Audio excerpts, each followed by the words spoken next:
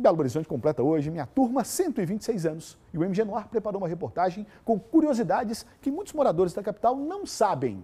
Põe na tela, vamos lá.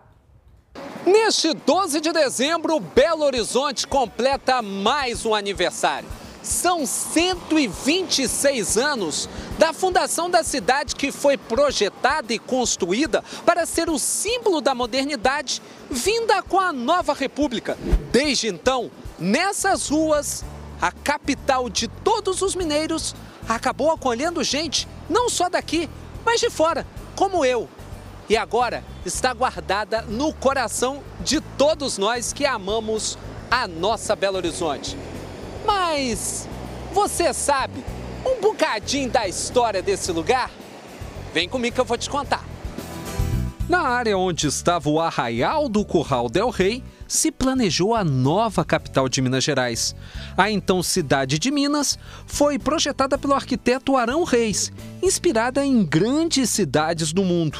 Os quarteirões quadriculados tiveram inspiração na expansão de Barcelona, na Espanha.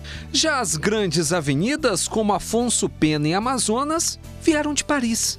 O Parque Municipal, pulmão verde no meio do centro, tem como fonte de inspiração o Central Park em Nova York.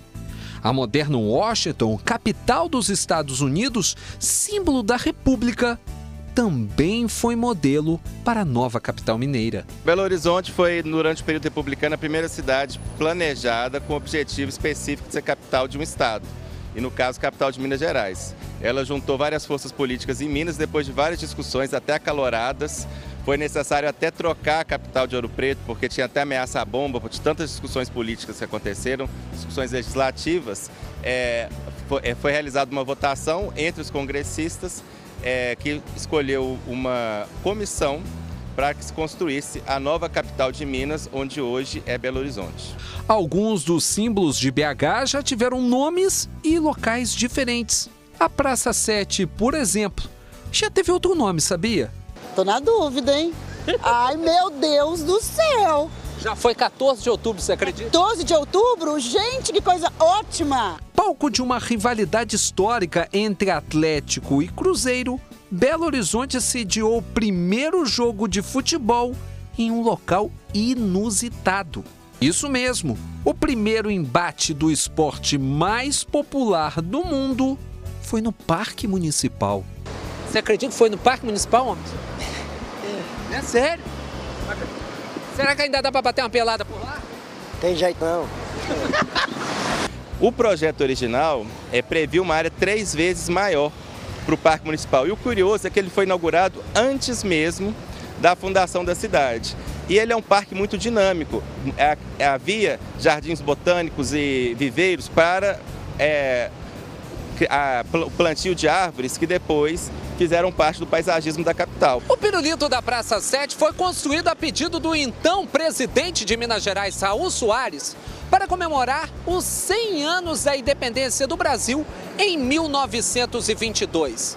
Desde então, se tornou o marco da história da cidade. Mas acredite, ele passou um tempinho fora daqui. Nos anos 60, durante a gestão de Amintas de Barros, esse pirulito foi retirado da Praça 7 e no lugar tem, ficou um monumento numa rotatória que foi, na época a gente já tinha problemas de trânsito aqui na cidade, é, o monumento ficou conhecido como Caródromo e o pirulito foi para a Praça da Savassi.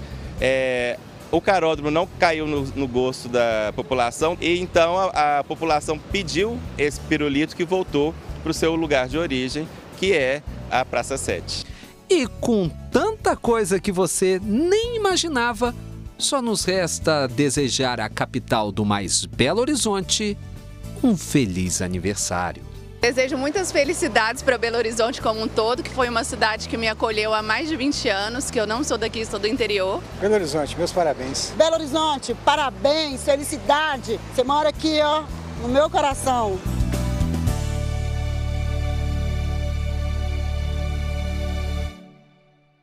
De fato, gente, eu desconheço um lugar, uma capital com um nome que é tão próprio assim da cidade.